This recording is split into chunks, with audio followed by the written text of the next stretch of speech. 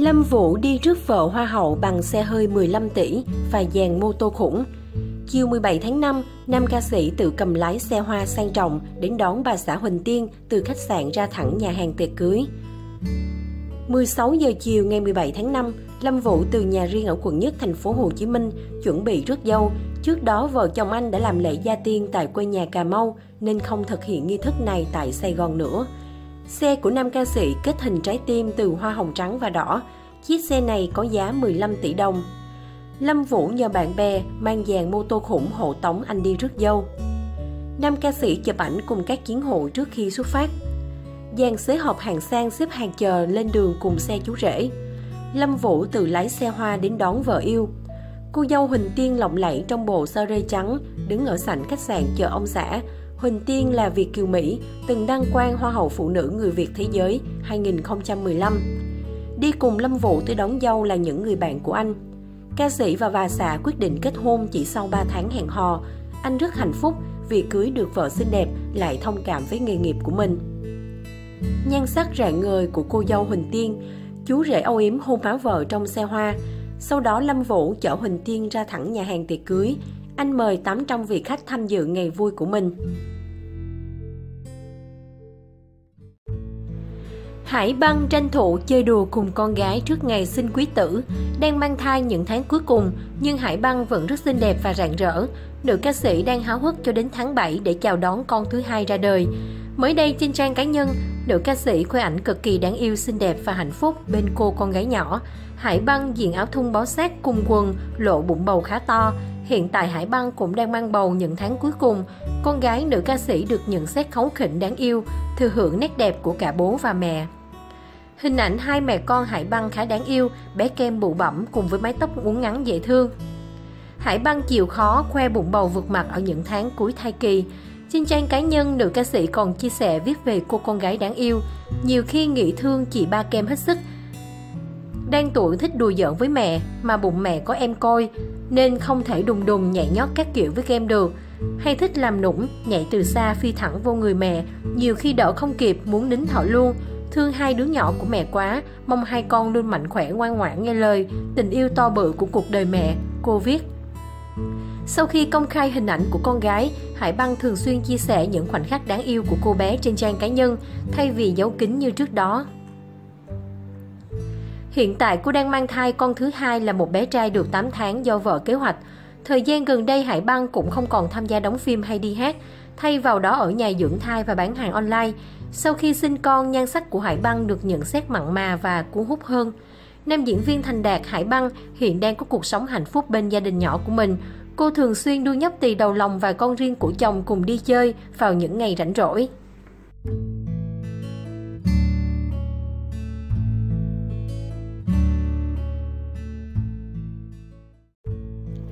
Thấy vợ hớ hên, Kevin Khánh lập tức che chắn, chẳng bù cho Trấn Thành làm Harry Won khóc thét vì tóc váy.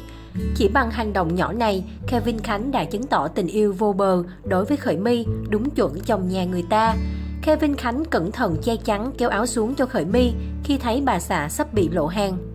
Những hành động nhỏ nhưng đầy yêu thương của Kevin Khánh với Khởi My. Kevin Khánh khiến fan đổ rầm rầm vì sự chu đáo cưng chiều của anh đối với bà xã. Nếu như Kevin Khánh tinh tế, chu đáo, che chắn cho Khởi My bất cứ lúc nào, thì Trấn Thành lại ngược lại. Nam MC từng khiến Harry Won lộ hàng ngay trên sân khấu vì sự vô tư của mình.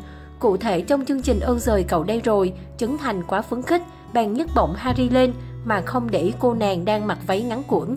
Anh chàng đã khiến người đẹp Hàn Quốc hớ hên trước mặt nhiều khán giả. Ngay lập tức Harry Won phải lấy tay kéo váy lại. Nữ ca sĩ khóc không ra nước mắt vì sự cố trang phục nhạy cảm mà Trấn Thành gây ra cho mình.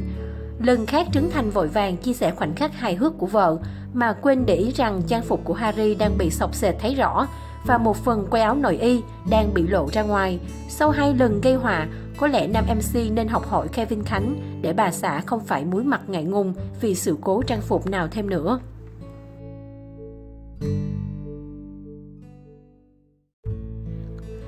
Cứ chê ốc Thanh Vân đẹp mà lấy chồng xấu, lúc anh đứng cạnh quốc nghiệp, nhìn tướng tá lại sốc gấp 10 lần. Hoàng tử siết của Việt Nam cũng phải né chồng ốc Thanh Vân, không dám đứng lại gần. Nói phải tội cứ mỗi lần xuất hiện tin bài về cặp đôi vợ đẹp chồng xấu, người ta lại thấy sự xuất hiện của nhà ốc Thanh Vân và Chí Rùa. Nhìn chung ông xã của nữ MC không phải diễn viên người mẫu nên cùng khó phán xét. Gương mặt của Chí Rùa lại chẳng đến nỗi thảm họa nhưng vẫn bị liệt kê vào danh sách. Thế nên có lẽ tất cả là do diện mạo của ốc Thanh Vân quá đầm thắm mặn mà, dẫn tới sự chênh lệch mà thôi. Tuy nhiên mới đây vợ chồng ốc Thanh Vân có dịp góp mặt trong chương trình là vợ phải thế, cùng vợ chồng nhà hoàng tử siết Quốc Nghiệp và Ngọc Mai. Khỏi phải nói body cơ bắp săn chắc của Quốc Nghiệp luôn khiến nhiều người xem phải suýt xoa, nhưng khi đứng cạnh trí rùa, anh lép vế hẳn.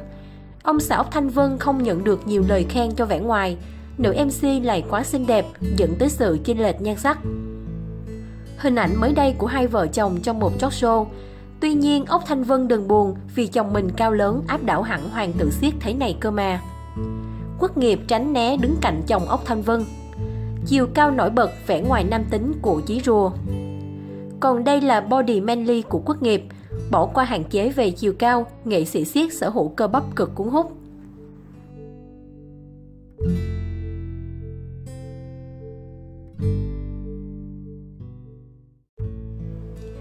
Nhã Phương diện váy công chúa đẹp lộng lẫy ở Canet, chặt đẹp cả Hoa hậu Mỹ Linh lẫn Lý Nhã Kỳ khi đi chung. Hoa hậu Việt Nam 2016 cùng diễn viên Nhã Phương khoe nhan sắc rạng rỡ yêu kiều khi xuất hiện trong show diễn của nhà thiết kế Hoàng Hải tại Canet, Pháp tối ngày 15 tháng 5. Vừa qua, Hoa hậu Mỹ Linh xuất hiện xinh đẹp và lộng lẫy tại show diễn riêng của nhà thiết kế Hoàng Hải tại Canet của Pháp. Hoa hậu Việt Nam 2016 diện bộ váy ren xuyên thấu trắng muốt vô cùng gợi cảm. Cô được mời tham dự show diện của nhà thiết kế Hoàng Hải với vai trò vedette.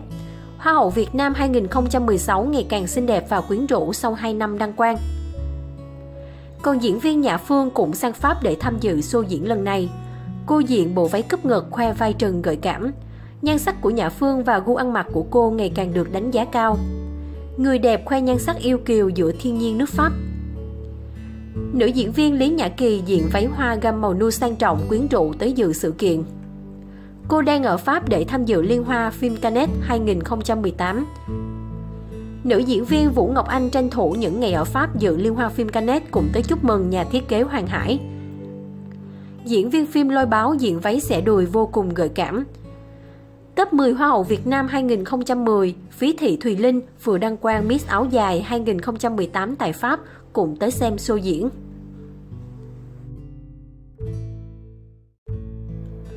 Ông chú cô đơn Isaac khiến fan gục ngã vì quá điển trai trong MV mới.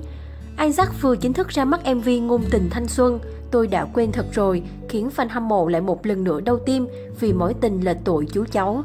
Vào lúc 11 giờ trưa ngày 16 tháng 5, Isaac chính thức ra mắt MV Tôi đã quên thật rồi, thông báo sự trở lại đường đua V-Pop trong năm 2018.